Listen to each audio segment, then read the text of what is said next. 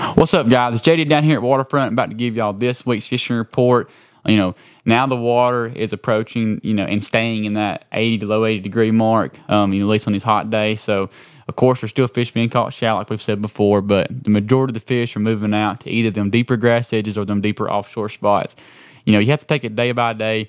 Uh, you know, I'll get out there after work when I go and I'll just start side scanning around, you know, and just seeing how the fish are setting up. Um, and that kind of dictates my my bait selection. So if they're real close together, um, you know, and they're pulling a lot of current, they're on the bottom, you know, that's when you know we're gonna catch them on a football jig, crankbait, you know, something fun like that. But especially with all the pressure we just received like from this big bass um, splash, you know, it's the time of year where you're gonna have to start going finesse. So like a like a drop shot and a you know in, in a Neko rig, you know, any kind of finesse deal, even taking that football jig and putting like a smaller you know, crawl trailer on will help get some more bites because, you know, every, you know, a lot of these fish, you know, these schools of fish are being found. So that's why some days, you know, it's kind of do your own thing. You know, go find you a, you know, a eight to 12 foot grass edge somewhere. And a lot of those fish might be just now coming and, and staging out there in those post spawn areas. So I'd say baits of the week would be, you know, you know, a, a shaky head, a drop shot, and probably a Neko rig. And then, like I said, they, they, they cut that current on, you know, like your crankbaits, your scroungers, you know, all your,